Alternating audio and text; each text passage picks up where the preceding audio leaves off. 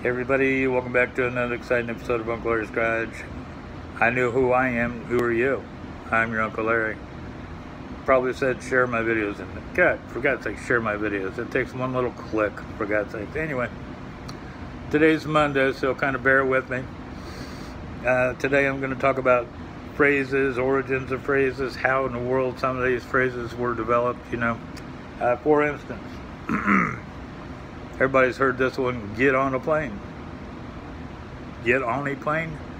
No, no, no. I'm not Evel Knievel, folks. I'm not getting on the plane.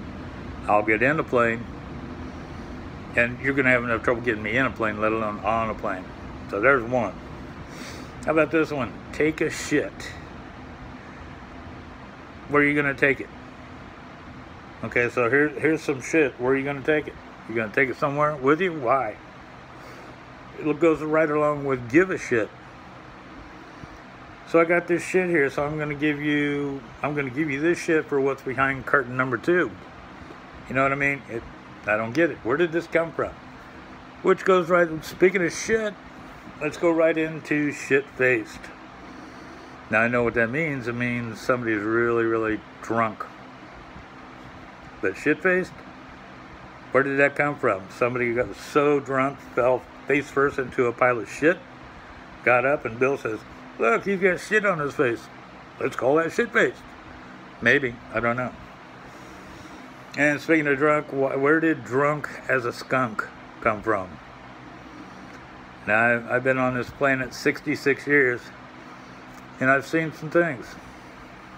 I've seen skunks, not a lot. My cousin had one when we were kids, but it had the scent gland removed. But I never seen a skunk drunk. So where where did that one come from? Help me. Uh, this one, I think the boys out there, you know who you are, uh, can relate to more than anything else. When we were growing up and discovering our manhood, if you will, um, joystick. We we all know what joystick was when we were teenagers, didn't we, guys? Yeah, of course we did. Of course, the girls knew what our joystick was too. Let's face the facts.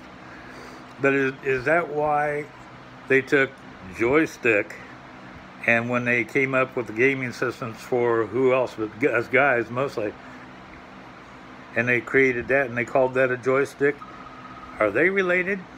I bet they are. Here's one i don't get. Pussyfoot. Well i know what you got i know what those of you who know me best i know what you're thinking but pussyfoot, where the hell did that come from? I can use my imagination, come up with a lot of things, but I'm not gonna.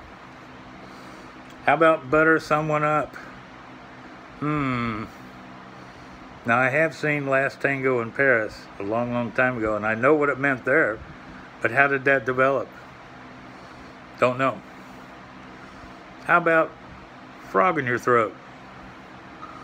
Now, that would have made a hell of a lot more sense if it was if that phrase was born back when the Muppets were around and Miss Piggy could have said she had a frog in her throat, huh, Kermit? You know what I mean? But where did that come from? Don't know.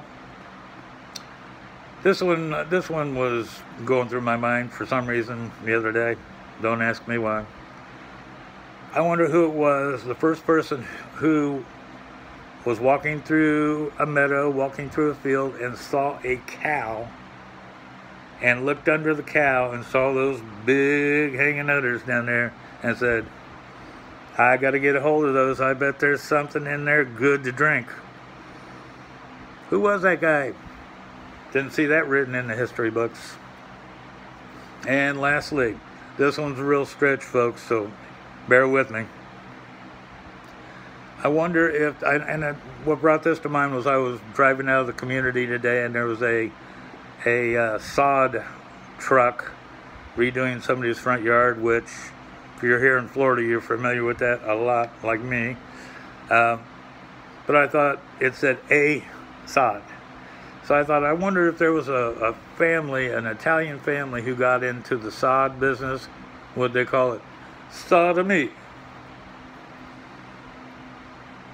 Stretch. I know that hurt my back just stretching for that one. Uh, believe me, folks, it's it's not it's not because it's Monday and I'm just I, I it's not because I my drinking or anything like that yesterday or anything like that. It's because uh, because I'm still drinking today, so it couldn't be that. So anyway, there you go. Just some thoughts that go through Uncle Larry, Uncle Larry's mind, uh, especially on Mondays. Hey, as always, God bless America. Thanks for the chiefs for covering our asses worldwide. Uh, men in blue, women in blue. Hmm. Love you guys.